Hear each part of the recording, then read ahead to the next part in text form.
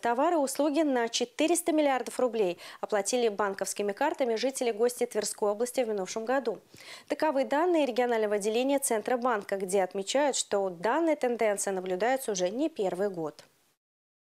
В 2022 году по картам в Тверской области было сделано около 275 миллионов 400 тысяч операций. Это на 4,5% больше, чем в 2021 году. Общая сумма по всем таким платежам выросла на 5,8% и приблизилась к отметке в 400 миллиардов рублей. За прошлый год суммарный объем безналичных операций увеличился на 6,4% и составил 1 миллиард 545 миллионов рублей. При этом средняя сумма перевода практически не изменилась по сравнению с предыдущим годом и составила 5600 рублей.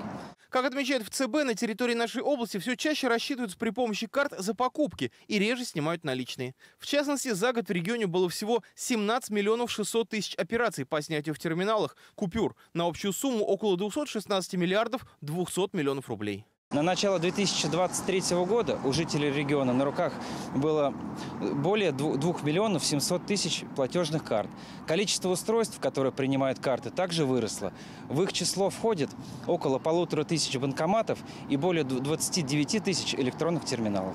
При этом наиболее активно безналичную оплату используют пассажиры компании «Транспорт Верхневолжья». Что касается муниципалитетов, то реже всего купюры и монеты достают из кошельков при проезде в Твери. В автобусах столицы Верхневолжья уже в 89% случаев применялись карты СБП, QR-код, Bluetooth и GPS. Для сравнения, в Конакове доля таких платежей в транспорте составила 73,8%.